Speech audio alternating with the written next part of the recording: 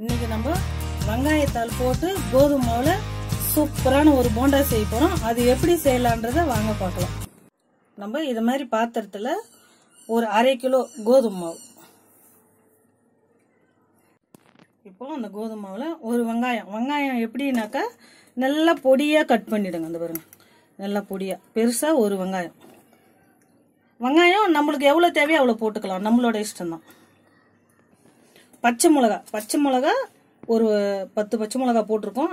பச்சை மிளகா கூட உங்களோட எவ்வளோ தேவையோ அவ்வளோ காரம் எவ்வளோ தேவையோ அவ்வளோ போட்டுக்கலாம். பத்து பச்சை மிளகா பொடியாக கட் பண்ணது. பூண்டு ஒரு அஞ்சு பல் நல்லா நசுக்கினது. நசுக்கிடுங்க அப்போ தான் அது நல்லாயிருக்கும் டேஸ்ட்டுக்கு. கருவேப்பிலை. கருவேப்பிலை ஒரு நாலு கொத்து இது மாதிரி நல்லா பொடி பொடியாக கட் பண்ணி வச்சுக்கோங்க. அதையும் இதிலே போட்டுக்கலாம்.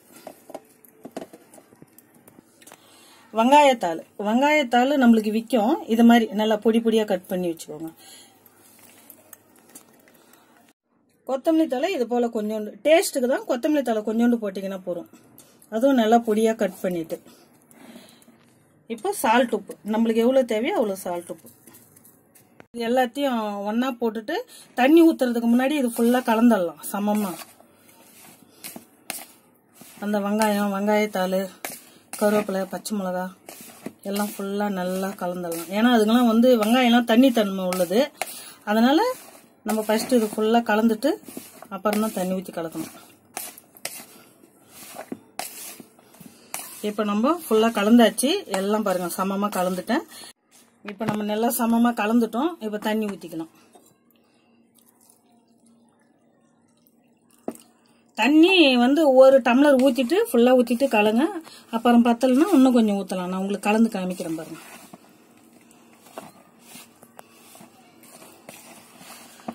நீங்கள் வெங்காயம் அந்த பச்சை மிளகாலாம் கலந்ததால உங்களுக்கு கட்டி முட்டியெல்லாம் வராது. நல்லா வரும்.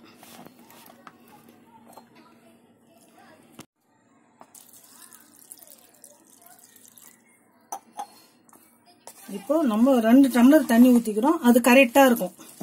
நல்லா சமமாக கலந்துட்டு நான் உங்களுக்கு காட்டுறேன் பாருங்க. இது எப்படி கலக்குறதுன்னு. இப்போ கட்டி முட்டையாவே ஆவலை பாருங்க பார்த்தீங்களா நம்மளுக்கு? அது ஃபர்ஸ்டே கலந்துட்டிங்கன்னா ஆகாது அது போல. நல்லாயிருக்கும்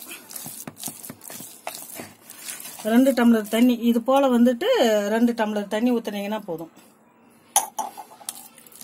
இப்போ நம்ம நல்லா சமமாக கலந்துட்டோம். இது இந்த அளவுக்கு தண்ணி ஊற்றுங்க நிறையலாம் ஊற்ற வேண்டாம். அது மாதிரி ரெண்டு டம்ளர் பெரிய டம்ளரில் ரெண்டு டம்ளர் தண்ணி ஊற்றுனீங்கன்னா இப்படி வரும். இந்த அளவுக்கு தண்ணி ஊற்றிட்டு இப்படி நல்லா கலந்ததுக்கு அப்புறம் பாருங்க கட்டியே இல்லை பாருங்க. நீங்க ஃபஸ்ட்டே அது மாதிரி கலந்துட்டீங்கன்னா உங்களுக்கு கட்டி முட்டியெல்லாம் ஆகாது. இது மாதிரி கலந்ததுக்கு அப்புறம் ரெண்டு முட்டை ரெண்டு முட்டையை இதில் நம்ம உடைச்சு ஊற்றிக்கலாம்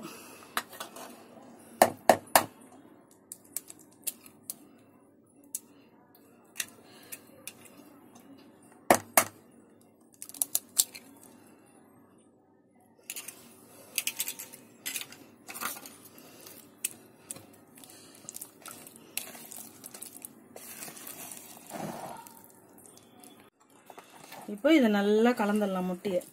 இது நான்வெஜ் சாப்பிட்றவங்க முட்டை வேணும்னா முட்டை போட்டுக்கலாம். இது முட்டை போட்டால் தான் டேஸ்ட்டாக இருக்கும். அதனால நாங்கள் நான்வெஜ் சாப்பிடுவோம். அதனால முட்டை போட்டுக்கலாம் உங்களுக்கு நான்வெஜ் வேணும் அப்படின்னாக்கா முட்டை மட்டும் வந்து போட வேணாம். மற்றது எல்லா பொருளும் போட்டுட்டு செஞ்சிங்கன்னா அவ்வளோ சூப்பராக இருக்கும்.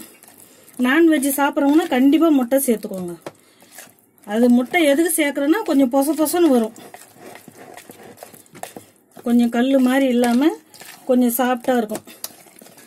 கொஞ்சம் வயசானவங்க குழந்தைங்களுக்கெல்லாம் பிடிக்கும். பொச பொசன்னு இருந்தால் பிடிக்கும் சாப்பிடுவாங்க. இது நம்ம ஒரு பத்து நிமிஷம் ஊறட்டும். பத்து நிமிஷம் ஊறினதுக்கப்புறம் நம்ம எண்ணெயில் போடுவோம். உங்களுக்கு எண்ணெய் வச்சு எண்ணெய் காஞ்சிடுச்சு இப்போ நம்ம போடலாம் அதை. கலக்கி வச்ச இந்த போண்டா மாவு. இதேமாரி தண்ணியில் வந்து கையை நல்லா நினச்சிக்கினேன். நம்ம கையை இது போல் தண்ணியில் நினச்சிட்டு இதில் எடுத்துக்கலாம் கையில் எப்படி அப்போ தான் கையில் ஒட்டாது. இப்போ எடுத்து போடலாம் நம்ம.